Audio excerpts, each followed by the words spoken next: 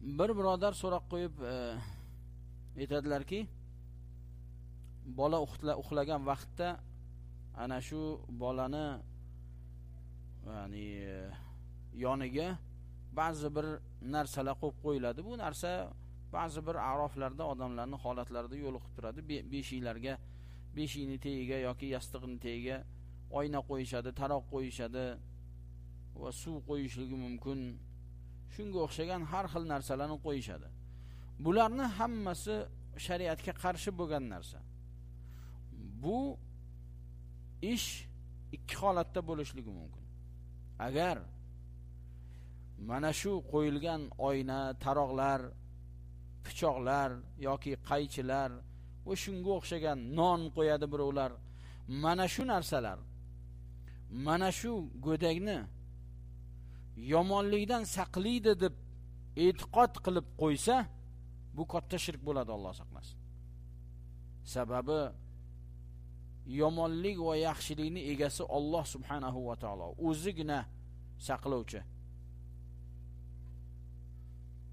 Bu birinchi holati. Ikkinchi holati agar e'tiqod qilsaki asli Alloh subhanahu va taolo saqlaydi. Lekin mana shu oynayu taroq nonlar saqlanishlikka sabab bo'ladi.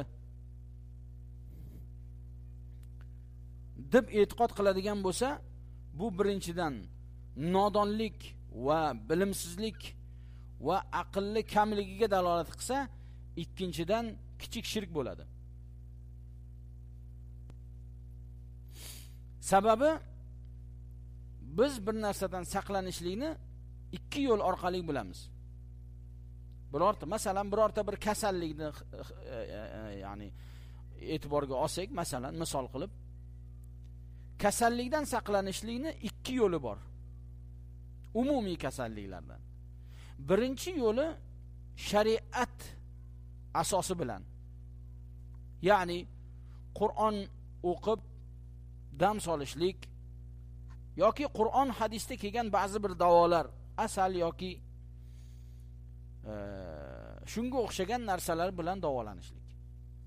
Ikkinchi davolanishlikni yo'li yo'li tajriba orqali bilishlik.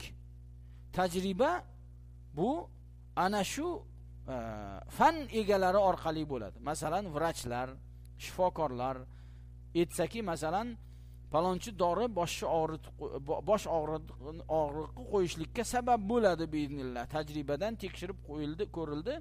Mana shu e, e, dori palon kasalga davo bo'ladi deb. Biz mana shu o'rinda tajriba orqali bilib u tajribani sabablari bor. Shu orqali bilib ana shu dorini bir yaxshilikka ishlatsak mumkin. Ammo bu oyna yoki taroq yoki shunga o'xshagan narsalarni qo'yishlik na shariatda na yoki bir tajribada aniqlangan bir yo'l emas. Shuning uchun bu narsalardan saqlanishlik balki bu narsalardan uzoq bo'lishlik lozim. Va nabiy sollallohu alayhi vasallam bu narsalarni qilmasdan boshqa bir narsaga irshod qilib yo'l ko'rsatganlar. Nabiy sollallohu alayhi vasallam u kishida ham farzandlar va nevaralar bo'lishgan kichkina bolalar. Shunda nabiy sollallohu alayhi vasallam duolarini birida hasan yoki husayn nevaralariga duo qilganlarida uizukuma bi kalimatillahi tammati min kulli shaytonin va hammatin va min kulli aynin lamma deb duo qiladigan bo'lganlar. Shu bilan Alloh subhanahu va taolodan mana shu bolalarini shaytondan va yomon ko'zdan va hasadgo'ylardan yoki shunga o'xshagan narsalardan mana shu narsalarni yomonligidan Allohdan panoh so'raganlar. Bandadan talab etiladigan narsa shu. Va shu bilan kifoyalanishligimiz kerak bo'ladi.